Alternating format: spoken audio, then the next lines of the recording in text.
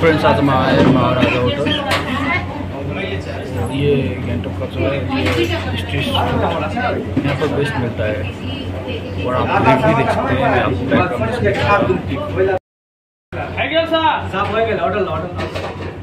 भाई जी ने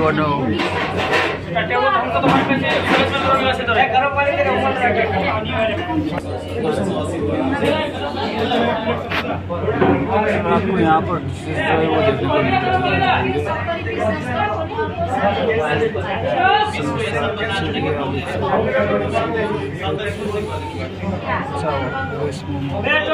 चाट छोला सब्ज़ी छोला डोसा मसाला डोसा प्लेन सांबर ये बहुत कुछ डिश है तो दोस्तों, हमने समोसा मंगाया देखते हैं, टेस्ट में अच्छा है। तो ये लाल चटनी बहुत टेस्टी होता है। मुझे बहुत पसंद है।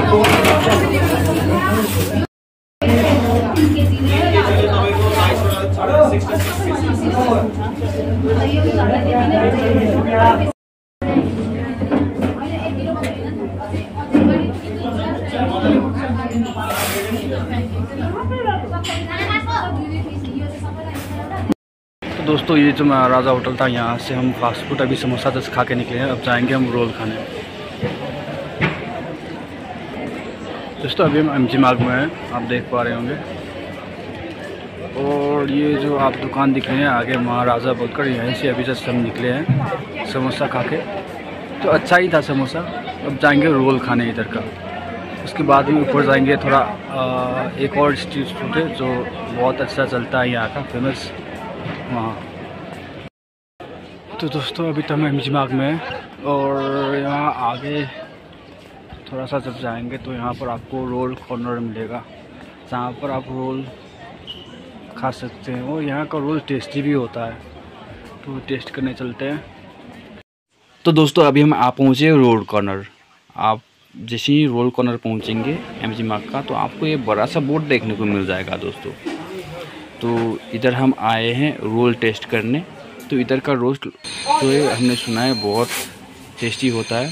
तो दोस्तों, आप देख सकते होंगे कि ये जो पूरा चाट है, जो जो यहाँ पर मिलता है, उसका रेट दिया गया है।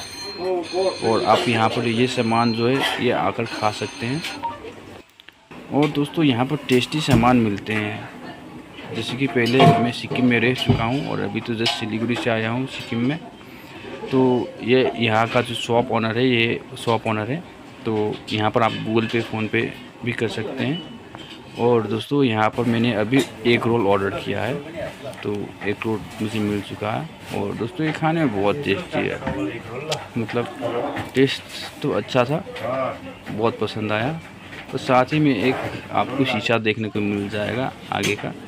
और शीशा में आप खुद को खाते हुए देख पाएँगे। और मज़ा भी आया मुझे यहाँ का फ़ूड टेस्ट करते हुए। तो दोस्तों आप भी आ सकते हैं। जब आएँगे सिक्किम ज़रूर एक बार टेस्ट करिएगा। अच्छा रहता है।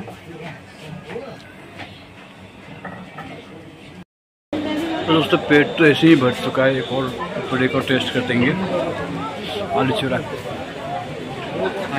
वहाँ का आलू चूरा अच्छा रहता है। तो आप ये रोल कर भी आ सकते हैं। अच्छा था एक रोल